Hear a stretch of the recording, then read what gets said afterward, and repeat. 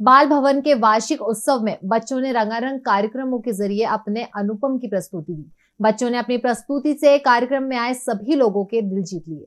ये कार्यक्रम सिंगरौली में हुआ, जहाँ बच्चों ने अपनी रंगारंग प्रस्तुति से सभी का मन मोह लिया। बच्चों के माता पिता भी उनका हौसला बढ़ाने में पीछे नहीं रहे। कार्यक्रम का शुभारंभ मुख्य अतिथि राजीव अकोटकर ने दीप प्रज्वलित करके किया। मुख्य अतिथि के स्वागत संबोधन में बाल भवन प्रभारी आरती बोरा ने कहा कि बाल भवन इस क्षेत्र का काफ़ी प्रसिद्ध एवं पुराना विद्यालय है, जो नन्हे मुन्ने बच्चों को प्रारंभिक एवं गुणात्मक शिक्षा प्रदान करता है। इस विद्यालय द्वारा अभी तक हज़ारों बच्चों को शिक्षा प्रदान की गई है। अभी वर्तमान में सत्तर बच्चे यहाँ शिक्षा प्राप्त कर रहे हैं। मुख्य अतिथि राजीव अकोटकर ने बच्चों की प्रस्तुति को सराहा और एनटीपीसी प्रबंधन द्वारा निरंतर सहयोग प्रदान करने का आश्वासन दिया। मध्य प्रदेश की महिलाओं के आर्थिक सशक्तिकरण के उद्देश्य से संवेदनशील मुख्यमंत्री शिवराज सिंह चौहान द्वारा मुख्यमंत्री लाडली बहना योजना का उपहार सभी पात्र महिलाओं को दिया गया है। इसके तहत उन्हें प्रति माह एक हज़ार रूपए दिए जाएँगे। ये राशि सीधे उनके बैंक खातों में पहुंचाई जाएगी। योजना की प्रक्रिया बेहद सरल और निशुल्क है।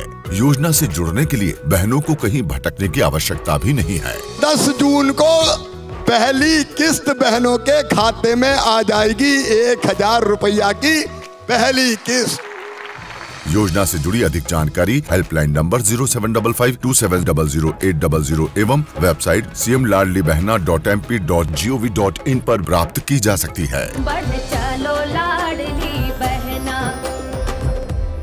वो खबरें जो आपके काम की है। वो खबरें जो आपके लिए ज़रूरी है। हर आम और खास से जुड़े मसले। हर मसले का सटीक विश्लेषण। हम करते हैं सत्य का अन्वेषण। दखल न्यूज़। आपके हक में।